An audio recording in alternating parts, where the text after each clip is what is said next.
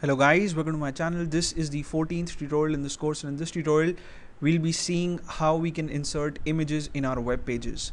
Now to insert an image in a web page you have to use the img tag in HTML. Now before I uh, show you guys uh, you know the output of this HTML document that I have here opened in my text editor and uh, before I explain the text in it I'm going to show you the image that I, I will be inserting in the web page that I'll be making. So this is the image, you know, tennis racket with a few tennis balls.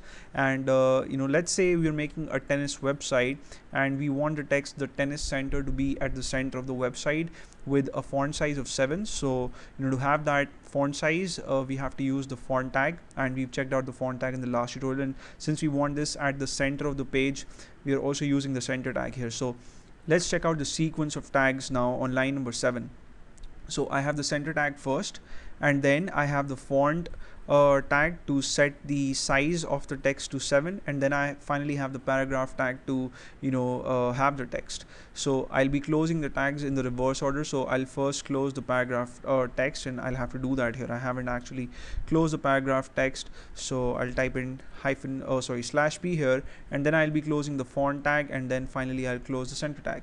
Right? And uh, then on line number 9 I have uh, the img tag right? So between the less than symbol and the greater than symbol I have the text img which is a short form for image. And then you have to uh, you know give a value to the source attribute or the src attribute of the image tag. So you type in src which is the name of the attribute and then you put in the equal to symbol and then within double quotes you you know type in the name of the file. And if the file is in the same directory as the html document as is the case in you know uh, you know for me in, in this tutorial. I have the you know image tennis.jpg the one that I just showed you in the same in the same folder as I have uh, you know this document which is you know uh, a folder on my desktop. Then you do not have to mention the entire path of the file. But let's say I had this in the documents folder on the music folder of my system.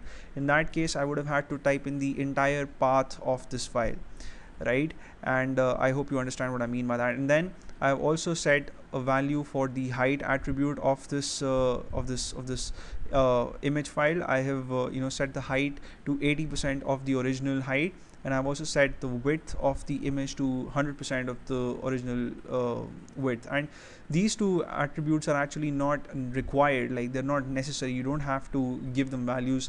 Like if I will not uh, include the height attribute here then you know by default 100% of the height would be included in the web page right? But since I want 80% of it to be included I would have to keep it here and then.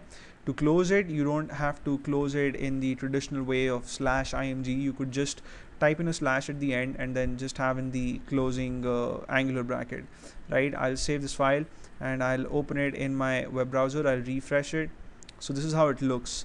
We have the text the tennis center at the center as we expected and then we have this image right? So this is how easy it is to insert images in uh, web pages in HTML you just have to use the img tag and you know that's it for now. In the next tutorial we'll be checking out more tags and more features. So you may subscribe to my channel if you haven't already and I'll see you in the next video. Till then take care